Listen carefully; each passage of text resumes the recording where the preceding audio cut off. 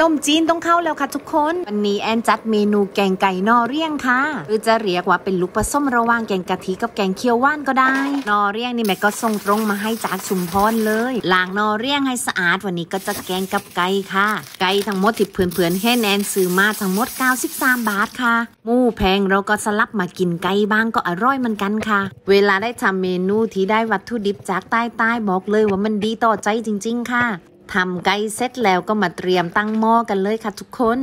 สูตรของแอนก็จะผสมพริกแกงเคียวว่านกับพริกแกงเผ็ดลงไป